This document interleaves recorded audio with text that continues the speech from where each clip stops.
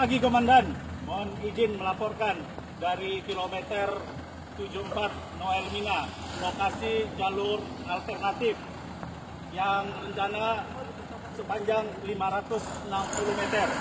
Dan dapat kami laporkan bahwa untuk pengerjaan jalur alternatif baru 260 meter dan sisanya 300 meter sementara dikerjakan.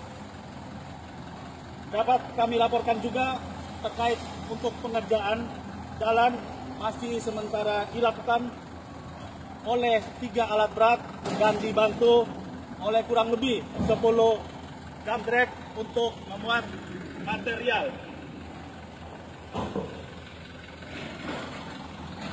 Demikian sementara yang dapat kami laporkan Komandan dari jalur alternatif. Perkembangan selanjutnya kami laporkan kembali. Di Lantas Polda NTT mantap melayani, terampil, dan peduli. Terima kasih Komandan. Selamat pagi.